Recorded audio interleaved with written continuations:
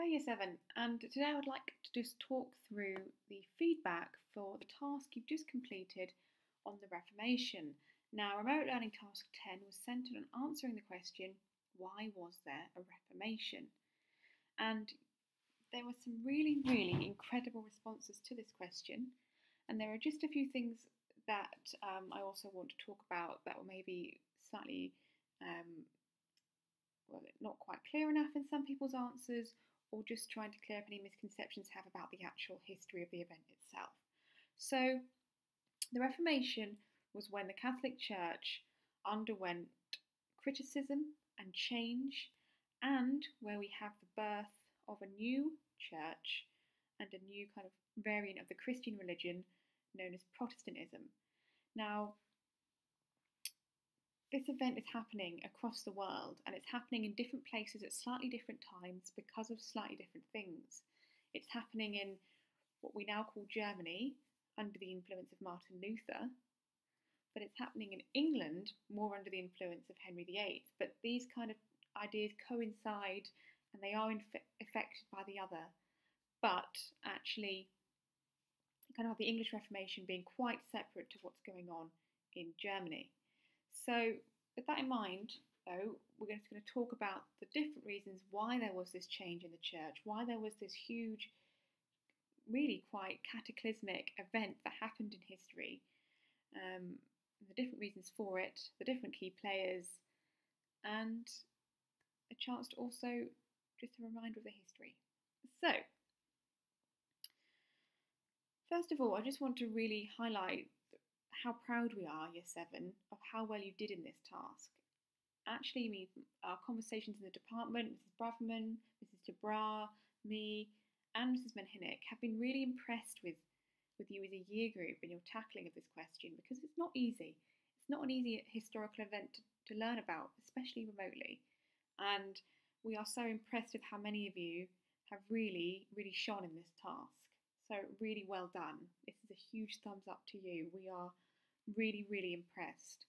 And just to highlight a few um, quotes from work, uh, Josh, you said there was now a challenger to the to the Catholic Church, and the Church of England is still around today. So Josh is referring to the birth of the Church of England, the church that Henry VIII brought in um, because of his need to get divorced.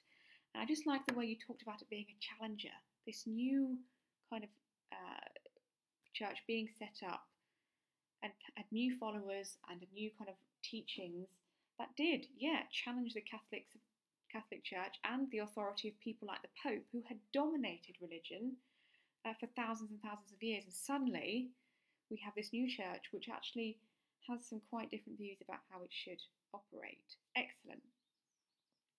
Jack, you're talking about here Martin Luther, and you said Martin Luther was disgusted at how wealthy the Catholic Church was, and he believed God didn't care about impressive churches and money. So Jack's referring to Martin Luther's visit to Rome, where he witnessed kind of the severe corruption and really quite uh, he saw quite disturbing behaviour in the Catholic Church, whereby people were, you know, uh, charging ridiculous amounts of money through the selling of indulgences, the, uh, the tithes, the church taxes, all these things that he believed was not the kind of traditional way you should be a good good follower of God. This was not how you should behave, and he was absolutely outraged at how the Catholic Church was behaving, which ultimately prompted him to sign, sorry, and write and pin up the 95 Theses. Stuart, you said, in addition, the Bible was not in English at the time, meaning the church could lie about its contents. It was only accessible to the wealthy people because they were able to speak Latin. This is, this is an example of the elitist attitude of the church. Now, another key player in the kind of Reformation is generally criticism about how the church was operating, even amongst ordinary people. Um, from sort of early 1500s onwards, and not just uh, religious men like Martin Luther, many people were getting very angry at how the church was behaving. And one key reason they were angry was because, yes, church services were given in Latin, and Latin was really a language that only people in the church, only people who were trained in the church, like clergymen, could speak and those who were wealthy, but the mass kind of proportion of the population, the large majority of people, like the peasantry, who, as we know, if we think about our feudal system, make up the biggest um, proportion of society, they had no idea what was being said. They did not speak Latin. They spoke common English. Okay, and so they are attending church services, they're having the Bible read to them in a language they know very little. And actually, they didn't think this was fair, and Martin Luther didn't think this was fair. Actually, no, God's teachings should be accessible to everyone. And the point is, they weren't. And I thought Stuart's use of the word elitist was just so sophisticated here. Now, the word elitist means that it's just basically thinking about the elites. It's only thinking about the rich and the wealthy. The church only had those people in mind. It did not think or care about the ordinary people at the bottom of the feudal system, at the bottom of society. They did not care about them at all. And so that's another reason why there was this gradual push to challenge the church, criticise how it was behaving, and to ultimately um, have the Reformation. And Carla, you uh, referred back to Henry VIII again, and of course, we know that there is this key reason, especially in England, that there is this issue of divorce for Henry VIII, who is the monarch at the time. Uh, Martin Luther is around. He is desperate for a son, and he knows he can't have a son with his current wife, Catherine, so he asks the Pope to, to divorce Catherine so he can marry Anne Boleyn. However, the church does not allow it. So this kind of dilemma that Henry faces is another reason why there is the birth of this new church.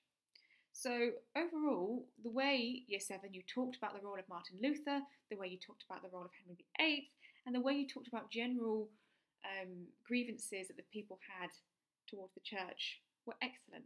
Really, really well done. And a lot of you were able to talk about them in great detail in your individual paragraphs. So, excellent, excellent job.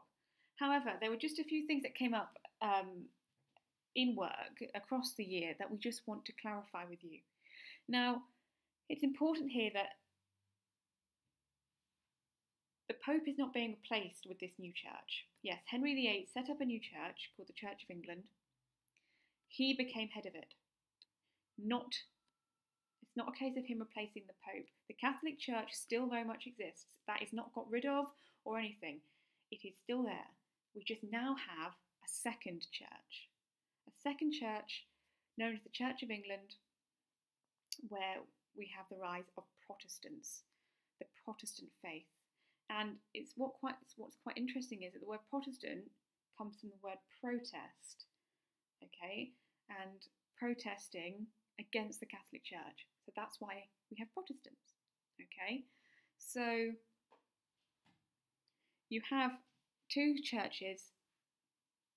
In the Catholic Church, the Pope is the head of it, but in the Protestant Church, the Church of England, the monarch is the head of it, like Henry VIII. Okay, so Henry VIII wasn't replacing the Pope. He was just he just set up his own church, which he was head of. Okay, and this, of course, made the Pope really angry because you now have his his authority being challenged for the first time, but um, it's still safe to say the Pope is still very, very powerful. But having a monarch now in charge of the church, of an alternative church, was was worrying. Um, and just to clarify here, some of you sort of got the, the wives the wrong the wrong way round. Um, Catherine of Aragon was Henry's first wife, and she was the one that could not bear him a son. And she was the mother of Mary, who you will be looking at um, over the next few weeks. And it was she he wanted to divorce, and so he could marry Anne Boleyn, who would be the mother of Elizabeth, um, famous Queen Elizabeth I. So neither of them could provide him with a son, actually. So um, poor Anne was not long for this world, unfortunately, either. Now, I think a lot of you also talked about how Henry VIII was inspired by Martin Luther and how he was drawn to Martin Luther's ideas. That's not necessarily quite true. I mean, Henry VIII was actually a very loyal Catholic, very loyal Catholic for much of his life. and um, did not take the decision lightly to break away from it. And even even though he did in public, in reality, he did remain perhaps more Catholic than is seen and always talked about. But that's another story.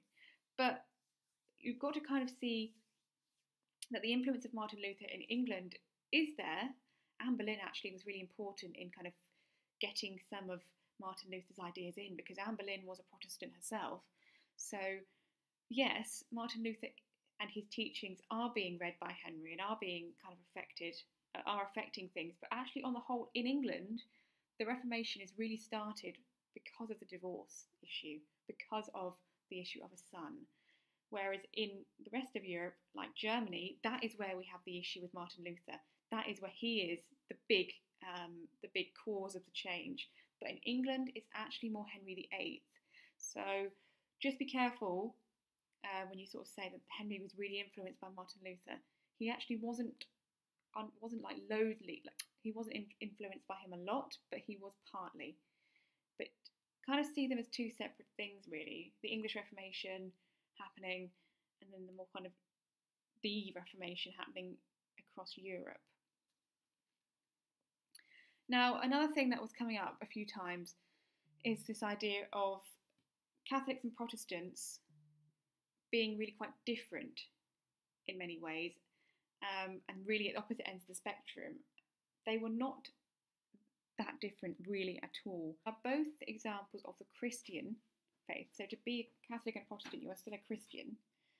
And if we look at this kind of um, diagram here, all of these represent branches of Christianity. Now you can see in the middle that the Catholic religion, or the Catholic branch of Christianity, is consistent. However, with the Reformation in the 1500s, suddenly out of Christianity, new branches emerge. New branches of Christianity are emerging, and this is where you have Protestantism.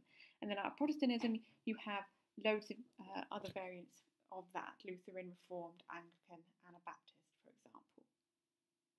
So it's important to remember that you are still a Christian if you are Catholic or Protestant, and a lot of the way you you, you worship is in com- is, is similar.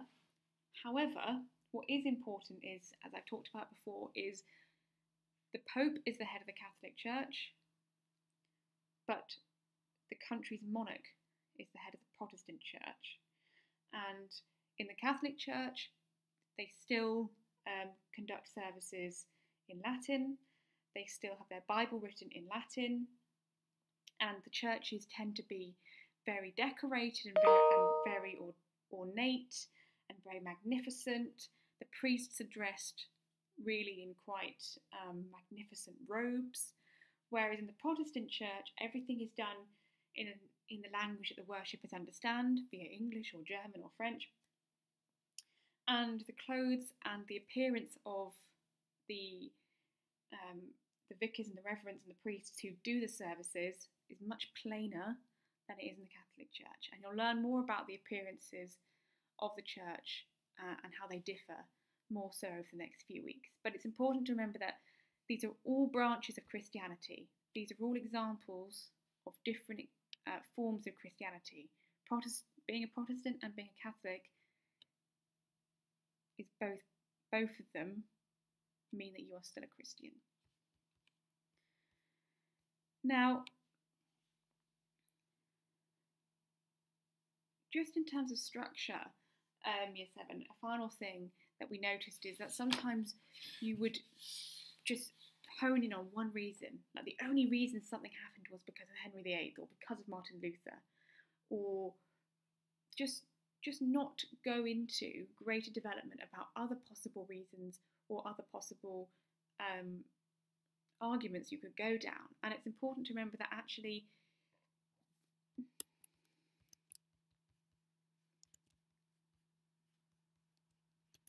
You can talk about um, that there are there are more than one reason for things.